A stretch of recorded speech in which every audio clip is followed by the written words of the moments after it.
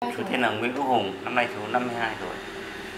Cô tên là Nguyễn Thị Thanh Hải, năm nay cô 47 tuổi. Dạ vâng ạ. Vậy thì chú bị tai biến từ năm nào và lúc đấy nguyên nhân bị tai biến là gì ạ? À, chú bị tai biến cách đây là 3 năm, năm nay chú 49 tuổi. Để là hôm đấy là vào hôm 24 tháng 7 năm 2014. Thì hôm đấy là trước hôm trước khi xảy ra tai biến của hôm 12 là chú có có hiện tượng đau đầu. Thì nói vào thời tiết nắng nóng thì cứ nghĩ đinh ninh là do thời tiết thôi. Nên nhà mình cũng chủ quan. Thế nên đến hôm tối hôm đấy thì là chú đang nằm ngủ. Thế dưng chú bật dậy. Thì cứ nghĩ đinh ninh là chú chỉ là dậy theo quản tính là đi vệ sinh. Nhưng anh ở đâu là lúc đấy là chú ngã cộc đầu vào cái tủ kê vô tuyến ở dưới chân giường. Thì lúc sau thì cô nhìn thấy thì chú có hiện tượng là hơi bị méo mồm. Thì cô gọi các anh chị em trong nhà thì đưa chú đến bệnh viện 354 để cấp cứu nhưng khi đưa đến bệnh viện 354 cấp cứu thì lúc đấy lại chú lại rất là tỉnh. Thì gia đình lại chủ quan để cứ nghĩ đinh ninh nó là thấy chú tỉnh rồi thì lại cứ nghĩ đinh ninh là là nhẹ thôi. Nhưng khi vào thì bác sĩ có nói là tình trường hợp như chú như này là rất là nặng. Vì càng tỉnh bao nhiêu thì cái độ vùng vẫy của chú ấy thì là càng đứt mạch máu nhiều nhanh bấy nhiêu. Thì lúc này là rất là nặng. Đấy là huyết áp lên bao nhiêu hả cô? Hôm đấy thì gần như không đo được. Máy không đo được. Máy báo e hết máy uh, tự động ấy te hết. Còn đâu khi về đến bệnh viện Việt Đức thì đo là tàn 220 230 lúc nào cũng tình trạng là ờ, coi như là bác sĩ truyền huyết áp với cả truyền hạ sốt xuống liên tục mà không không hạ. Vì lúc đấy nó đứt mạnh quá rồi. Lúc đấy là vẫn đang bác sĩ nói luôn lúc đấy nó đang vẫn đang ở tình trạng là đứt mạch máu là đang đang đứt mạnh. Nên là tình trạng sốt có 50 độ cũng gặp 49 độ coi như đêm hôm đấy là chú hôn mê luôn, rơi vào tình trạng hôn mê luôn. Hôn mê luôn thì sáng hôm sau thì bác sĩ nó cho đi chụp cộng hưởng từ. Cho bác sĩ ở 354 có cho đi chụp cộng hưởng từ thì xem, sau khi xem phim bác sĩ nói luôn là tình trạng của chú là rất là nặng. Máu đã loang, nó đứt mạch máu đã loang hết đầu rồi. Vì thế nên là nếu mà với bệnh viện 354 là 354 không chữa được, thì bây giờ gia đình có hỏi là bây giờ làm thế nào để cứu được chú ấy? Thì bác sĩ cũng có nói là bây giờ chỉ có bằng cách duy nhất là tim gan phổi của chú ấy đang khỏe, thì cho chú ấy đến bệnh ba bệnh viện Việt Đức để mổ. Thì sau khi lên bệnh viện Việt Đức mổ thì cũng được ờ, các y bác sĩ của bệnh viện Việt Đức tiếp nhận. Và qua một đời thời kỳ ờ, qua chụp phim nước xong thì bác sĩ cũng, bệnh viện Đức cũng nói là rất là nặng. Chính bác sĩ bệnh viện Đức là không muốn mổ. Vì người ta nói nặng như này sợ mổ chết trên bàn mổ. Nhưng gia đình cũng vẫn quyết tâm để cứu chú ấy thì là mổ. Thì sau khi mổ, gia đình cũng không nghĩ là nặng như vậy. Thì anh ở đâu thì mổ xong thì cái khi bác phải mở hộp sọ ra. Thì khi mổ xong thì hộp sọ của chú là mở, phải mang đi nuôi ở đại học y. Coi như là bác sĩ nói là sau 3 tháng thì nếu như chú sống thì ghép mảnh sọ vào đầu. Còn nếu chú không qua được thì gia đình đành chấp nhận thì gia đình nhà cô cũng cũng, lúc đấy bác sĩ đã sai gia đình nhà mình là cầm hộp sọ của chú đi nuôi đại học y rồi. Thì sau khi nuôi ở đại học y được, thì cũng may là bác sĩ bệnh viện Việt Đức rất là nhiệt tình. Thì sau khi đợt à, chú bị nặng thì cô có gặp được bà bác sĩ Thùy ở bệnh viện Đức. Nhà bác ấy à, kê thuốc cho chú ấy.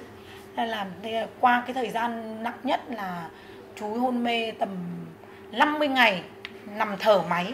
Đây, mở cả sông cổ này mở cả thông bụng nữa. Mở hết. Dạ mở thông bụng. Coi như là sống toàn bộ bằng máy móc. Không biết một cái gì mà 50 ngày. Nhưng cũng may quá là nhờ bác sĩ Thùy để bác kê thuốc cho điều trị. Thì là chú đã qua được cái cơn nguy kịch. Thì là chú đã có hiện tượng mở mắt. Thì không sau khi mở mắt xong thì à, à, bác sĩ thì hôm đấy là bác sĩ chuyển bắt đầu chuyển sang cái phòng gọi là sau khi đã đã, đã có hiện tượng là có um, à, có sự sống rồi đấy nhưng vẫn thở oxy. Nhưng mà sau khi đóng ống khí quản xong rồi thì là cũng bắt đầu nói được. Đóng khí quản xong thì là nói được. Nhưng trong cái thời kỳ đấy thì cô cũng cũng nghĩ rằng là chú lặng như vậy. Thì trong cái thời kỳ xong thì bác sĩ nói luôn là bây giờ bắt đầu chị bước vào một con đường mới là coi như là thời kỳ này là thời kỳ hồi phục. Thì bác có truyền chú về bệnh viện Nguyễn Bình Khiêm. Thì gặp bác sĩ à, Linh ở Nguyễn Bình Khiêm. Bác bác sĩ Thùy cũng giới thiệu cho giáo sư Linh ở Nguyễn Bình Khiêm. Kiểu hai người học cùng với nhau thì à, giáo sư Linh ở Nguyễn Bình Khiêm thì chị cũng cũng giúp đỡ. Nhưng mà ở đấy được một tháng được khoảng 10 ngày thôi. Nhưng mà cái hiện tượng ở Nguyễn Bình Khiêm thì nó bệnh viện thì chật. Thế là câu chú mới xin về về nhà thì thuê bác sĩ gọi đến nhà. À, vâng, nhưng mà bao lâu thì giai đoạn đấy là chú đã đã nối lên hộp sọ chưa sáu tại đấy mới là Chưa có sau năm bảy mươi ngày thôi chú hôn mê Về tỉnh nhà, thôi. về nhà chú thì sau 3 tháng sau đến khám khám thì bác sĩ cũng nói là chưa ghép được. 6 tháng sau thì bác sĩ mới kiểm tra cái độ ghép là cái cái mảnh ghép sọ của chú đây này. Đấy, 6 tháng sau bắt đầu mới ghép cái mảnh sọ này vào đầu này. Đấy cái mảnh sọ này.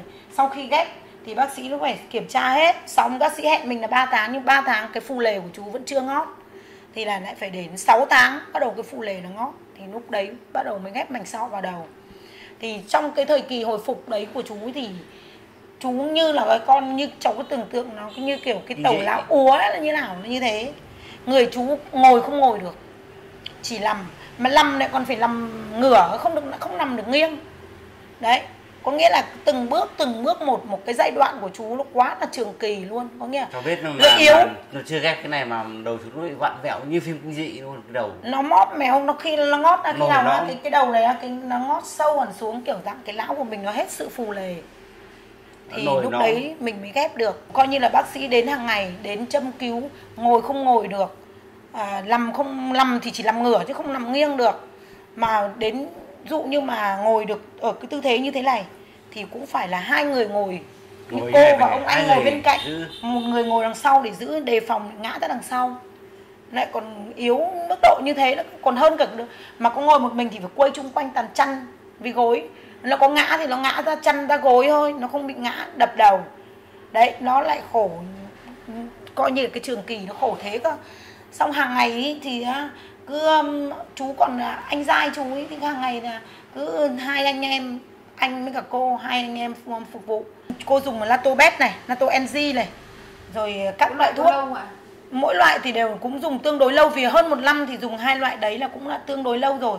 Cứ thấy quảng cáo vô tuyến thôi. Latobet cũng quảng cáo vô tuyến mà lato ng cũng quảng cáo vô tuyến.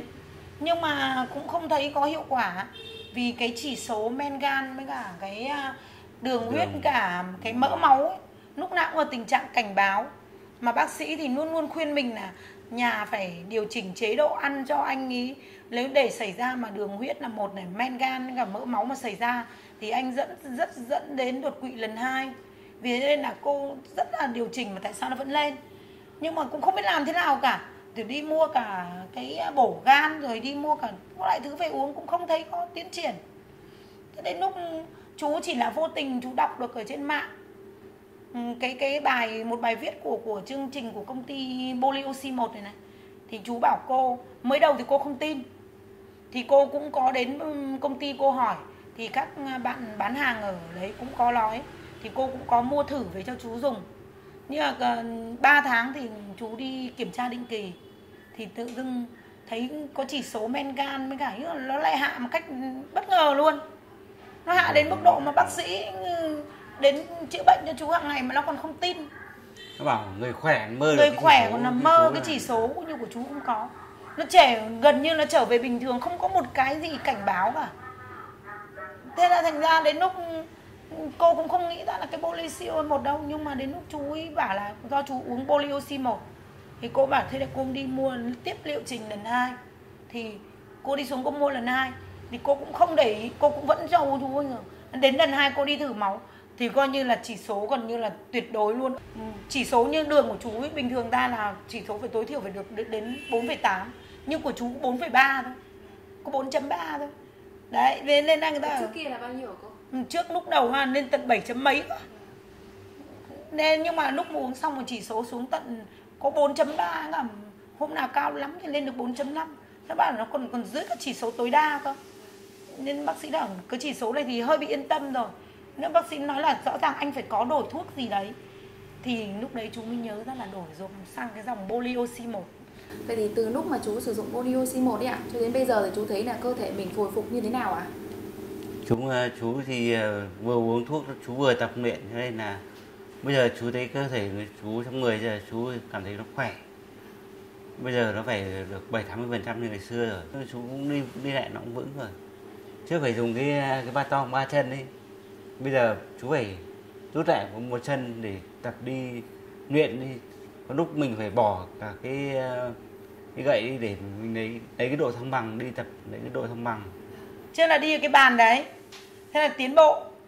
Thì là bỏ cái bàn ra làm bàn ăn. Thế là tiến bộ nữa. Thì là đi vào cái cái ba tong của ba chân. Gậy ba thế chân bây giờ là bỏ luôn cả gậy ba chân là đi sang cái ba tong mây của các cụ già thôi.